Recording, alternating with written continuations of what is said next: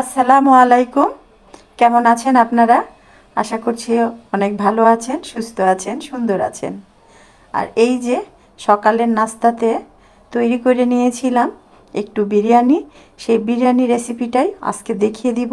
অল্প পরিমাণের চাল বা মাংস দিয়েও আমরা কিন্তু মজাদার সুস্বাদু বিরিয়ানি তৈরি করে নিতে পারি। আসলে বিরিয়ানি হইলে যে মাংস বেশি হতে হবে বা এই হতে হবে, ওই হতে হবে, মশলা না দিলে হবে না, তেমন কিছুই না।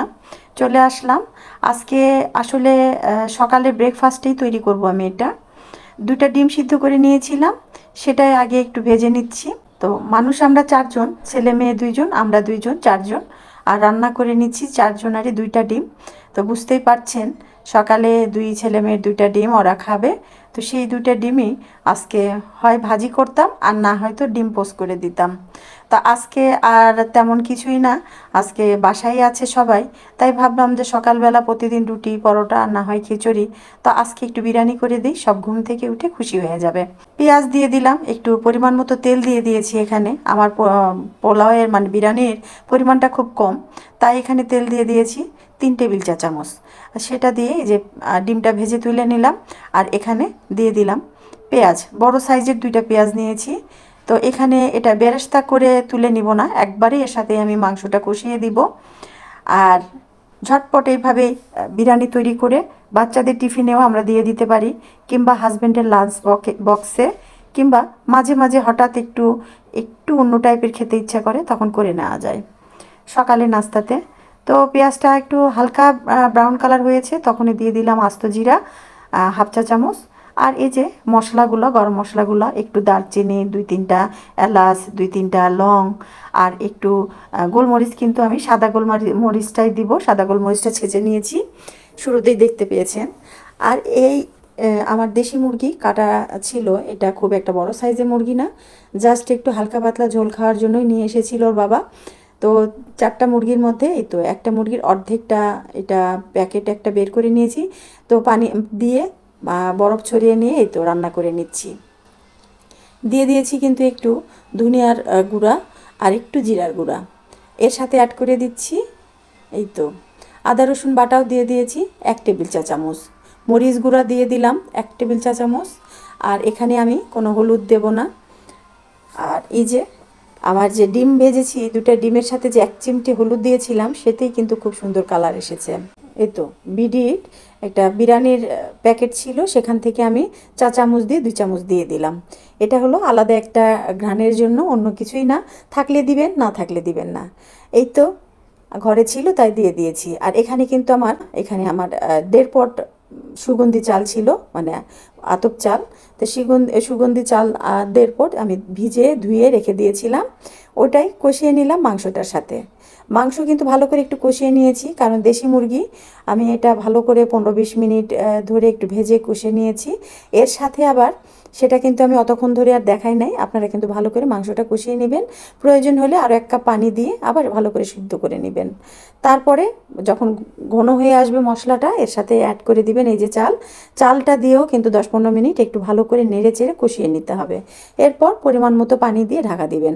আমি এখানে নর্মাল রুম টেম্পারেচারের পানি দিয়েছি। কোনো গরম টরম পানি দেই নাই, কারণ এখন আতপ চালগুলো পুরাতন হয়ে গেছে, এখন আর কিছুই দিতে হবে না। পাঁচ মিনিট ঢেকে রেখে দিয়েছিলাম। দেখেছেন কি সুন্দর ফুরফুরে হয়ে গেছে, আরও আমার পাঁচ মিনিট ঢেকে রাখতে হবে। কারণ এখন যদি হয়েও যায়, ঢাকনাটা তুলে দিলে পাঁচ দশ মিনিট পরে খাইতে খাইতে দেখা যাবে একটু চাওলা চাওলা আছে। তো সেটা যদি না হয় মানে সেটা যেন না হয়, সেই জন্য আমরা কি করব? আবার একটু ভালো করে নেড়ে চেড়ে নিচেরটা উপরে, উপরেরটা নিচে দিয়ে, আর একটু ঢাকা দিয়ে দিব। দমে রাখব কিংবা ঢাকা দিয়ে দিব, আর একবারে চুলা বন্ধটা করে ঢাকনা দিয়ে রেখে দিতে পারেন, তাহলেই হয়ে যাবে। সাথে একটা দিয়ে দিচ্ছি দেড় চা চামচ ঘি আর একটু কেওড়া জল। আলাদা একটা ঘ্রাণ নিয়ে আসার জন্য। তো আমার ছেলেমেয়েরা কিন্তু এখনও বিছানায় আছে। ওরা ত্রাহি ত্রাহি করে উঠে যাবে যখন নাকের মধ্যে বিরিয়ানির গন্ধ যাবে। আর বিরিয়ানি পোলাও কি যে পায় বাচ্চারা, খুব তাদের মানে মজার ব্যাপার।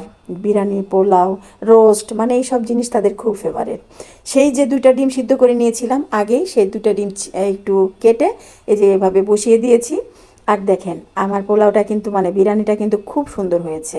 তো কি হয়েছে? অল্প মাংস হয়েছে তো কি হয়েছে? সকালের খাবারে যে বিরিয়ানি পাচ্ছি এটাই তো যথেষ্ট, তাই না?